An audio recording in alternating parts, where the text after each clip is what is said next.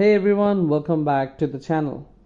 Today in this video, I will show you how to set up free VPN in Mozilla Firefox. Do you want to browse safely, unlock restricted websites and protect your privacy online?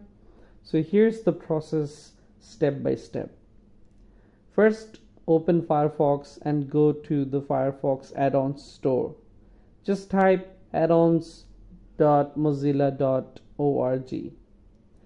Step 2 In the search bar, type free VPN. You will see options like Browsec VPN, Hoxx VPN, and Setup VPN. These are reliable and completely free to use.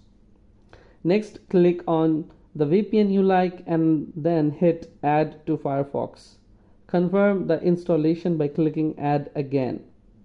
Once added, you will see the VPN icon in the top right corner. Click it, select a server or country and turn it on. That's it. Your VPN is now active.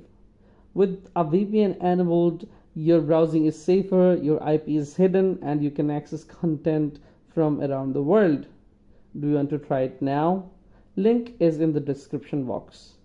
Thanks for watching this video. If you found this video helpful, don't forget to like, comment, share and subscribe to the channel.